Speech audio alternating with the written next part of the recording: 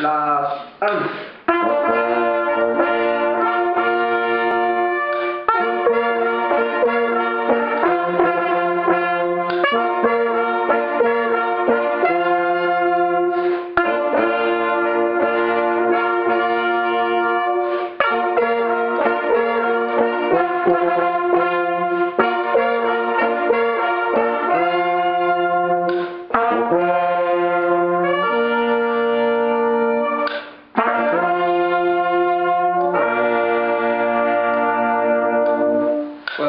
Okay.